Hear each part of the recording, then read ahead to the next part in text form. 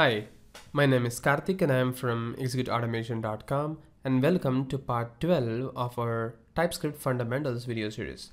And in this I'll be talking about understanding module loaders of JavaScript. So before watching this part, I would request you to watch part 11 since this part is going to be a complete continuation of that part. Alright, so let's get started. Module loaders. There are different types of module loaders available in JavaScript, something like CommonJS, SystemJS, AMD, UMD, and ES 2015. So there are even more. I have just listed one of the most popular module loaders. So these are used for JavaScript, especially while you work with multiple modules and you want to import them during the execution of your program on a browser because browser will not track of the path of file where this particular JS files is actually sitting. So you need to somehow tell browser that these are the dependent files which has to be executed before calling this particular piece of method. So module loaders in a high level is something like this. So module loaders are used to resolve the problem of loading multiple dependent modules from various location before the methods are actually being called. And that's why module loaders are really, really used. And this module loaders is really important, as I already said, because while you work with a browsers, you know, you need to know where this particular dependent files are sitting and how this has to be executed. These heavy lifting jobs are being taken care by module loaders. Module loaders are fast and asynchronous, and hence they don't bog down your application loading time, and especially for the web application. Some of the most commonly used web application module loaders are Require.js, Browserify, and Webpack. So these are the most commonly used web application module loaders. So they are used in conjunction with the TypeScript as well, something like AngularJS, where you can build the modularized code and then you can use this module loader to perform the operation. So let's quickly see a demo of what I really mean because this is a very very complex concept again and this is not the scope of our TypeScript fundamental video series. But still I'm just touching it a little bit because we may be encountering this kind of situation while we start working with automating the TypeScript based JavaScript applications right? So this is just a heads up guys. We may be using this in future right?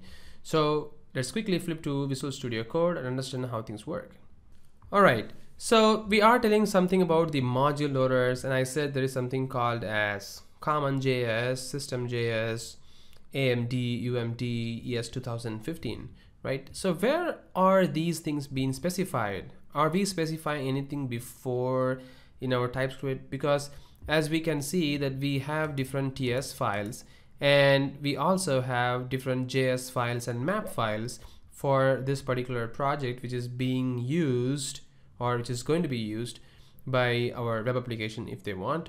But currently our Node.js, which is executing this particular TypeScript file, is actually running or managing these different files. How is this Node.js is actually managing? Well, by default, Node.js is managing using what is called as CommonJS loader. So if you go to the tsconfig.json file, it is by default using CommonJS as I already said, right? So if I want to change this to maybe system.js, so in order to change this, again, there is something called as modules, oops, modules, and you can see that it is CommonJS by default. So you can specify CommonJS or AMD here.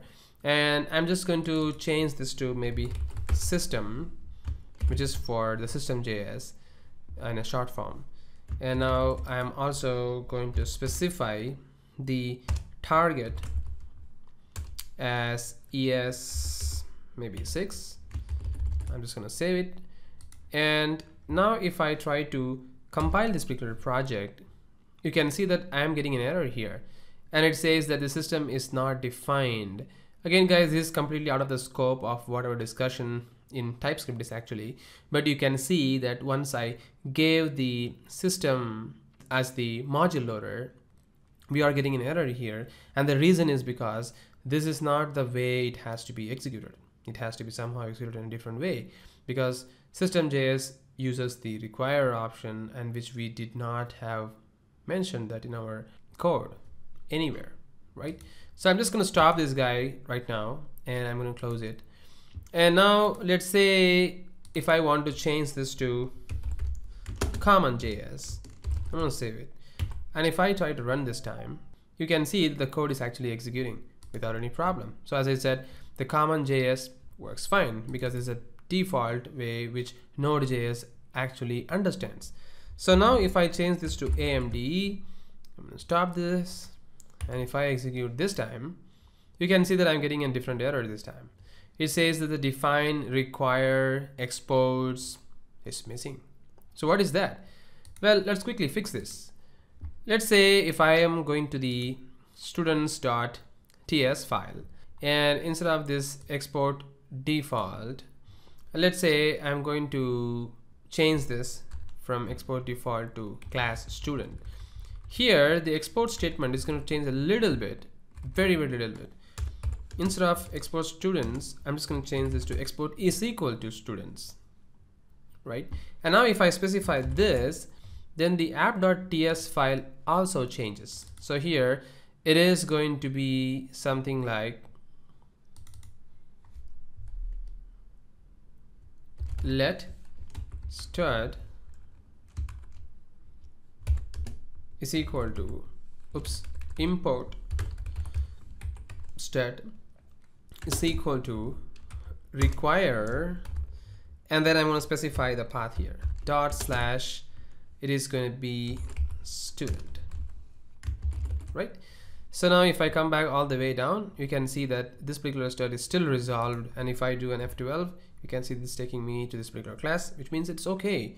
So now if I just do an F5 you can see the code is still executing and it's legal right? So this is how you can actually see that the module loaders plays a very important key role in actually working with the TypeScript and working with a different JS file to load the modules and compile the application right? So this is just in a high level of what module loaders is and because this module loader is something we will be using while automating the application with protractors and jasmine something like that. So this concept comes into handy while you work with those kind of libraries right? So this is how module loaders actually works. So that's it guys. This all is the module loader in javascript is all about. So once again thank you very much for watching this video and have a great day